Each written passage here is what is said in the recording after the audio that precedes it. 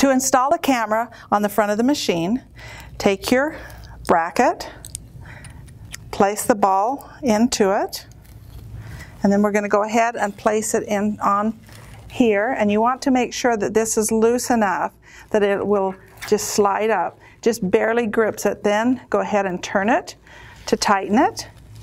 And then you can swivel that to any position on your quilt it also comes with a little wheel here that will uh, intensify the light so you can have it a dim light or a bright light now we're going to take this and put it back in the channel, this cable into the channel. We kind of have to weave it back and forth to fit it in there. And then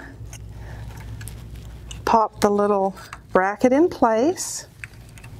Got to make sure that it's all in there and pop that in place. And then we'll take the USB and plug it into the machine.